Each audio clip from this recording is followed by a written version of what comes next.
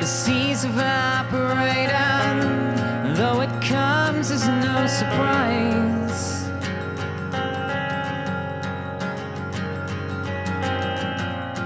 These clouds we're seeing, they're explosions in the sky.